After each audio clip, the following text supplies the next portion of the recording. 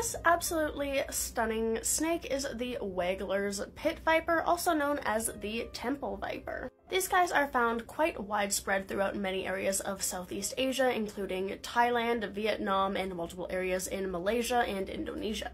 Now, this one up here is a female Wagler's pit viper, and they display a very, very high level of sexual dimorphism. And this one is the male Wagler's pit viper.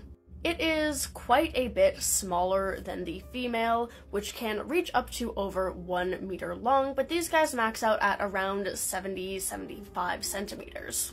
They are also very bright green instead of having a more black, yellow, orange coloration, and this is also very similar to what the juveniles look like.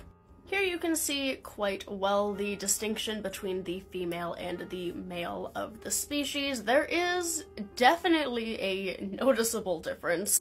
Now this does make it quite easy to tell which sex the snake is, which famously is rather difficult to do in reptiles because, in general, they don't have a very high level of sexual dimorphism. The Wagler's pit viper is described as being relatively sluggish and just kind of hangs out. They are nocturnal, and while they do strike very fast, they mostly spend their time just hanging out.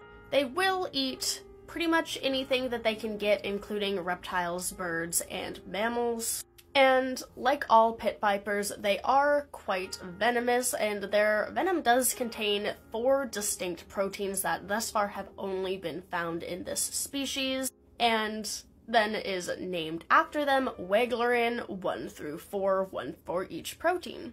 Now, despite it being rather toxic, bites from these guys are rare since they're very non-confrontational and described as being not aggressive kind of at all. Now that being said, obviously, if you're in an area where these snakes are found, don't go around messing with them, since they are still dangerous, venomous animals. They are just unlikely to bite unless being provoked or bothered or accidentally stepped on.